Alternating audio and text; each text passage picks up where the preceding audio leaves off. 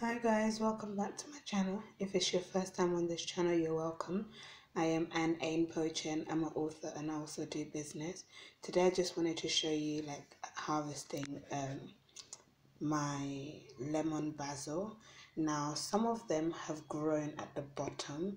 Okay, so I'm just going to, normally I'll just pick the leaves and then leave the um the one that is regrowing However, because I've got new crops at the bottom um, that have just germinated, I'm just going to pull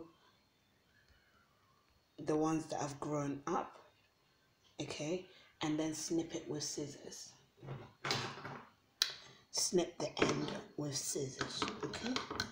So the roots, I'll just let it rot. Okay, I'll just use it as part of compost okay so that's what I'll be doing. This is what I'll be doing.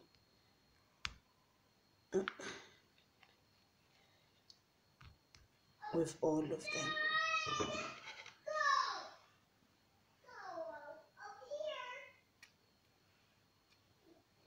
I wash I wash it. I wash all of it after I've harvested all of them. I'll wash it and then um I'll use it to cook. Some of them I'll use it fresh like that to cook and then the rest I'll dry it to store in the AHP herb jars for winter. Okay, when it's out of season.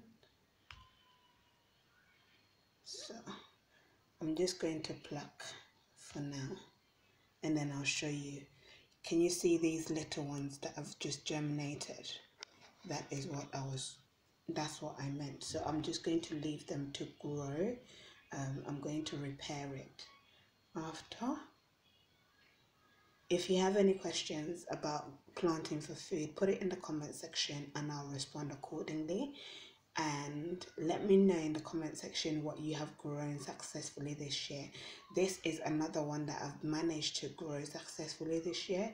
I have tried for two years in a row without success um because they either dry out or they just grow a little bit and then they just die because of overwatering. But i noticed that keeping this on the windowsill with a lot of light, a lot of sun, and minimum water has literally helped it to grow successfully this year. So, what I'll be doing more of. Okay, so that is it. I shall see you guys in the next video. Let me just continue with um harvesting this and then repairing it so that I can put it back on the windowsill so that the rest can grow properly as well to maturation for second harvesting. See you guys. Bye.